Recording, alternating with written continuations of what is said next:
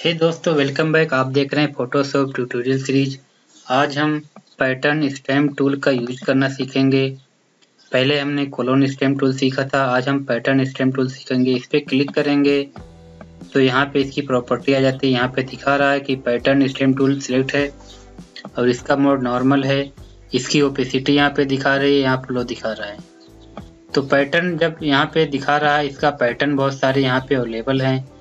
जिस पैटर्न पे हम सिलेक्ट करेंगे और जब यहाँ पे ड्रैग करेंगे तो उसका पैटर्न हमें दिखाई देता है।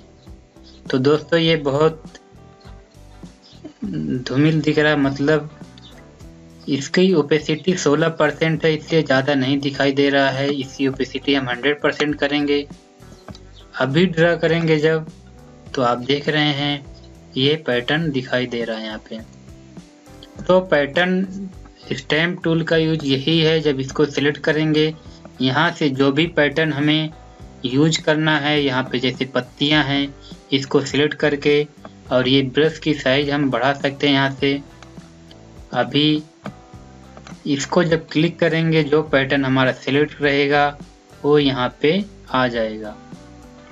तो जब हम अपने काम करते समय किसी भी प्रकार की पत्तियाँ या कोई भी यहाँ पर जो पैटर्न हमको पसंद आता है, वैसा चाहिए तो हम उसको सिलेक्ट करके यूज़ कर सकते हैं। अभी ये जैसे मार्बल का पैटर्न है तो आप यहाँ पर ड्रैग करेंगे सिंपली ऐसे तो मार्बल का पैटर्न आ जाएगा।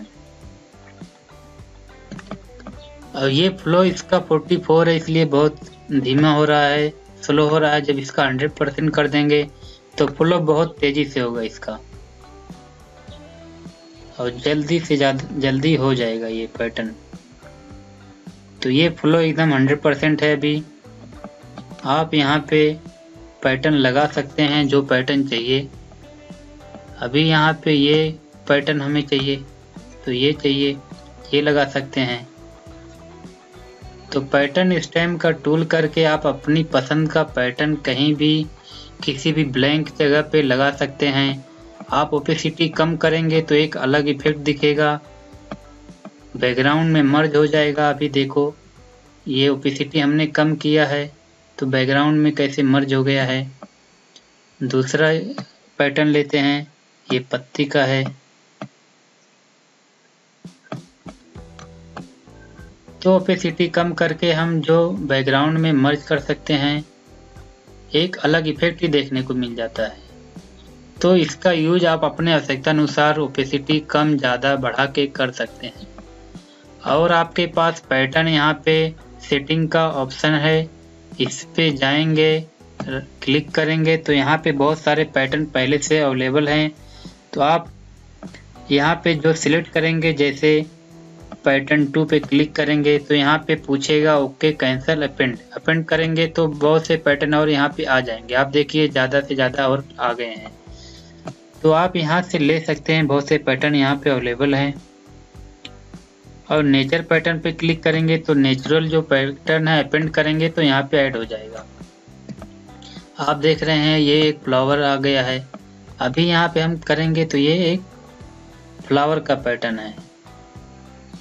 ये पूरा फ्लावर यहाँ पे आ जाएगा अभी। आप जैसे चाहिए वैसे ड्रॉ कर सकते हैं इसको। डिज़ाइन में चाहिए तो डिज़ाइन में पैटर्न सिलेक्ट कर सकते हैं। ये आपके ऊपर डिपेंड करता है आप उसको कैसे ड्रा करना चाहते हैं। बहुत सारे पैटर्न हैं इसमें। फूल हैं, पत्तियाँ हैं। ये वाइट कलर वाला फूल है। आप देखो, कितना अच्छा दिख रहा है। आप ब्रश जितना बड़ा करेंगे फ्लावर उतना बड़ा दिखाई देगा। बहुत बड़ा हो गया, पाँच हज़ार। आप एक बार क्लिक करेंगे तो एक बार इफ़ेक्ट चाहिए तो एक बार कर सकते हैं। आप ब्रश को जितना बड़ा कर लेंगे, उस हिसाब से मान लो यहाँ क्लिक करते हैं तो एक साथ में पैटर्न देख सकते हैं। आप इसका यूज़ न्यू ब्लैंक डॉक्यूमेंट लेके भी कर सकते हैं, जैसे कंट्रोल एन किए न्यू आ गया एट बाई सिक्स का। अब आप यहाँ पे नया ले लीजिए। आप इसमें पूरे में चाहिए वो पैटर्न तो सिर्फ़ ऐसे ही ड्रैग कर देंगे। तो पूरे में वो पैटर्न आ जाएगा। आप एक दूसरा न्यू ले लीजिए, आप अलग अलग चेक कर सकते हैं कौन सा कैसा इफ़ेक्ट दिखता है पैटर्न। आप उसका करके देख सकते हैं। आप फिर ये न्यू लेयर ले लीजिए यहाँ से। अलग अलग लेयर पे अलग अलग पैटर्न को चेक कर सकते हैं कौन सा पैटर्न कैसा दिखता है। आप देख लीजिए, ये पैटर्न कैसा दिख रहा है? यहाँ जैसे आप क्लिक करते जाएँगे ड्रैग करेंगे अलग अलग पैटर्न दिखाई देगा। तो आप चेक कर सकते हैं ऐसे न्यू लेयर लेके।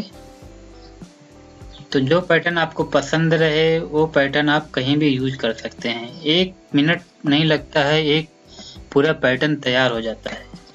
इस तरह आप कोई न्यू डॉक्यूमेंट लेके कर सकते हैं, या तो आप सिलेक्शन बना के किसी भी साइज़ का उसमें फिल कर सकते हैं।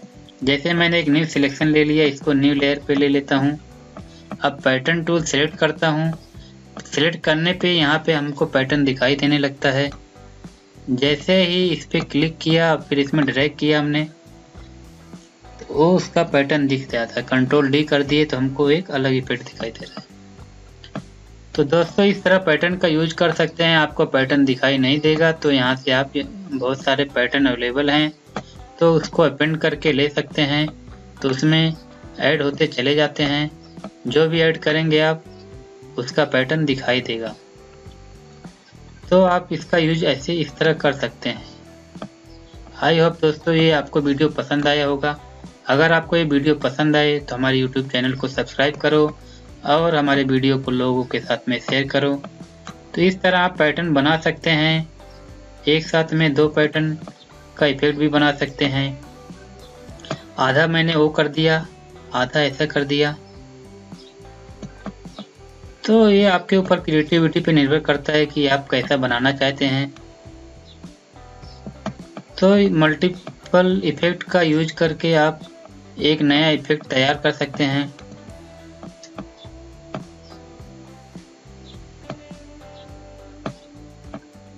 जस्ट सेलेक्ट करना क्लिक करना। और ओपेसिटी आप कम किए रहेंगे यहाँ से तो उसमें मर्ज हो जाएगा, पता भी नहीं चलेगा। तो दोनों इफ़ेक्ट दिखेगा। आपको ओपेसिटी कम किए रहेंगे, एक बार ज़्यादा किए रहेंगे तो एक साथ में आप दोनों इफ़ेक्ट को देख सकते हैं। अभी यहाँ पे पत्ती दिख रही है, पिछला इफ़ेक्ट भी दिख रहा है। तो इसका यूज़ आप जैसे जैसे करते जाएँगे प्रैक्टिस करेंगे, आपको समझ में आता जाएगा। कि इसका हम यूज़ कैसे करें? आई दोस्तों, आपको वीडियो पसंद आएगा। मिलते हैं दूसरे वीडियो में। तब तक के लिए बाय बाय दोस्तों।